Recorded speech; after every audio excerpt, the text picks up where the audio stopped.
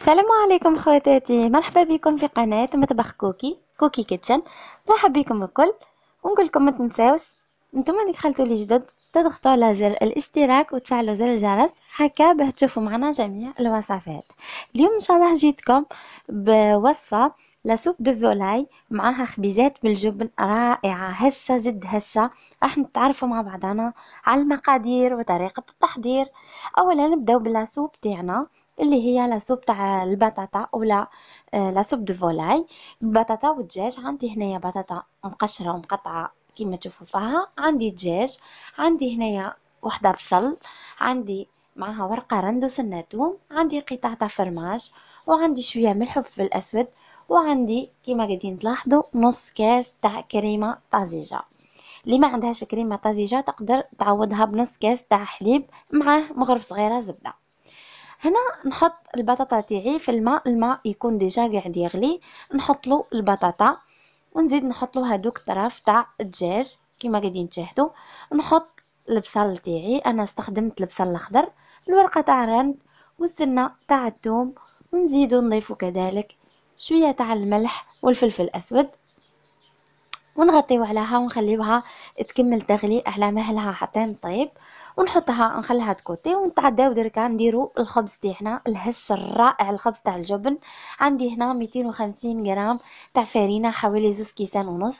عندي مغرف كبيرة تاع حليب بودرة اللي تقدروا تستغناو عليها. شوية تاع ملح.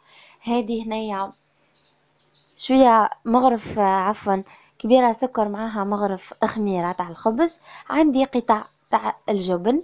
وعندي هنايا زوز مغارف كبار تاع الزبده كنت ذوبتها عندي بيضة والماء دافي اللي راح نلمو بيه الباط تاعنا شوية سانوس شوية جلجلان نديكوريو بيهم الخبز تاعنا. نحطو الفرينة معاها هذيك الحليب نزيدو نضيف الخميرة معاها السكر ونحاولوا نخلطوا المقادير تاعنا يعني من جهة والجهة الأخرى اللي كنت حطيت فيها الملح ما نخلطوش الملح مع الخميرة باه تتفاعل لنا الخميرة تاعنا. دركا نضيفوا زوز مغارف تاع الزبده الدايبة ونبسو الخليط تاعنا يعني غير بالفرشات اليوم ما كنتش راح ندخلوا يديكم خلاف في العجينة. يعني صدقوني وصفة هذه روعة روعة روعة. أنا عندي سنوات سنوات وأنا معتمدتها تاع الخبز هذا الهش. سهلة وسريعة آه وبلا عجن. كيما ولفتكم نجيب لكم غير الوصفات السهله واللي ما تعبكمش وتفرحوا بها عائلتكم. لميت لاباط تاعي بالماء الدافي حتى تحصلت على القوام هذا. شوفوا البنات القوام يكون شوية جاري ويتلاصق. يعني هذا هو القوام نحوسو عليه حنا. نغطيوها بابي فيلم ونخليوها حتى يضاعف الحجم تاعها. يعني حتى تخمر مليح. ومن بعد نجيو نديغازيوها. هنايا راني نحي لها في البابي فيلم ونديغازيوها. غير بالفرشيطة يعني كيف كيف للمرة الثانية كما قاعدين تلاحظوا بهذا الشكل. نخرجوا لها هذاك الهواء ونزيدوا نغطيو عليها ونخليوها تخمر المره الثانية هنا وعلاه درنا لها الخطوة هذه يعني هذه هي الخطوة اللي راح ترومبلاسي لنا العجن تاعنا.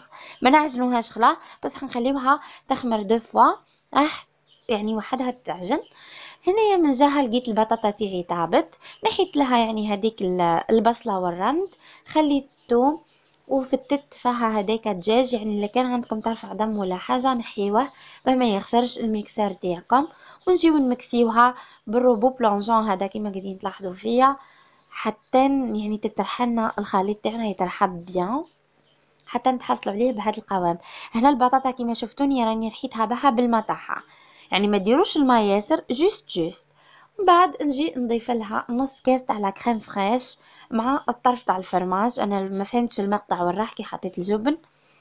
هنا شوفوا ونعاود نميكسي مليح بال mixeur تاعي حتى نتحصل على قوام يكون ثقيل يعني حيتقل لنا القوام تاع la soupe de volaille تاعنا. كيما قاعدين تشاهدوا. وهذا هو البنات القوام تاع la soupe de volaille تاعنا درك أنا واش ندير لها؟ نحطها تعاود تغلي يعني تعاود تغلي وتزيد تتقل فوق النار و bien sûr ما تنساوش تذوقوها على الملح إلا كان خاصها ولا لا. نرجعوا للخبز تاعنا و la pâte راهي خمرت ما شاء الله تضاعف الحجم تاعها.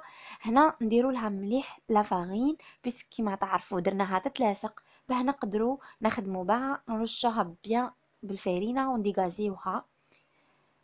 كيما قاعدين تشوفوا هنا نحطها au plan de travail نرش مليح الفارينه أنا ما تخافوش يعني هذا هو القوام المليح تاع العجينة تاعنا. نحط نقطعهم بواسطه coupe-pâte ولا سكين ولا أي حاجة عندكم قطع بهذا الشكل. كما قاعدين تشوفوا في الصورة. ونجي نكورهم نديرهم بكل ديبول كما قاعدين تلاحظوا نحطهم قدامي ونبدأ نخدم يعني بالكرة. نفتحها نحاول نفتحها على شكل دائري كما قاعدين تلاحظوا ونجيب القطع تاعي تاع الفرماج الأبيض ونحطهم هنا ونرولي عليهم العجينة بهذا الشكل. هنا يعني كي نرولي العجينة نحاول نضغط المرة الأولى باه ما يخرجليش هذاك الجبن. ومن بعد نكمل نرولاها حتى نوصل ل la fin. ومن بعد نقفلها bien باه ما تخرجليش هذيك la farce لداخل والخبيزات تاعي يجيوني ملاح. هنا كما قاعدين تشوفوا شكلتها بهذا الشكل ونعدلها شوية نعطيها la forme تاع الباغيت يعني حيجيونا des mini baguettes كيما قاعدين تلاحظوا. هنا كملت la quantité تاعي كامل تاع الكرات تاع الخبز ونجي ندهنهم بصفار بيضة معاه شوية قهوة نخلط مليح وندهن الخبيزات تاعي تاع الجبن بالشكل هذا. هذا نوع من التغيير يعني الخبز هذا رائع.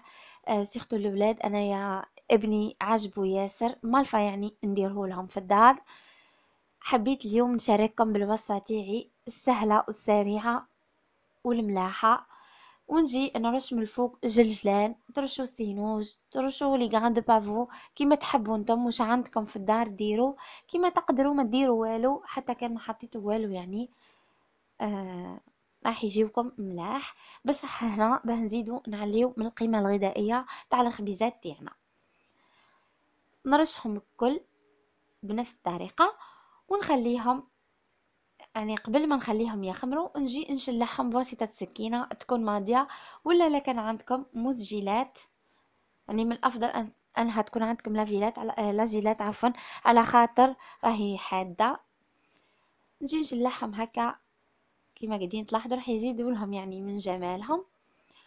ونخليهم يخمروا حتى يضاعف الحجم تاعهم كما قاعدين تشوفوا فيهم هنا. على هذا الشكل ندخلوهم على 200 درجة. الفرن يكون مسخن مسبقا يتحمروا من الأسفل ونشعلوا لهم من الفوق. وهذه هي النتيجة كما قاعدين تشاهدوا فيهم. يعني تحمروا جو روعة. آه، هش ياسر الخبز ده وطري طري. والداخل فاخسي بالفرماج. راح يعجبكم. يعني نتمنى أنكم تجربوه. وتنوعوا لولادكم في السفرة تاعكم. كما قاعدين تلاحظوا هنا البنات اللي طلبوا مني مملحات هاني قاعدة ننوع لكم. شوفوا كيفاه طري وهش يعني بلا ما درت له حتى شيء وهذا هو المنيو تاعي تاع نهار اليوم وهذه la soupe de volaille. كما قاعدين تلاحظوا روعة جات قوامها رائع.